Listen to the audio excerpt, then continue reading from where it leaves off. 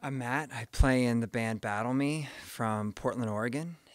I remember I was uh, in my er, early 20s and I was in my first band, and um, you know we got asked to come on and do a public radio show uh, down here in Austin, and uh, it was actually thrilling to hear that. You know, when you're in your car and you're driving, and then all of a sudden you hear yourself on the radio, and it makes you feel like that certain things can be accomplished. That you know dreams do live.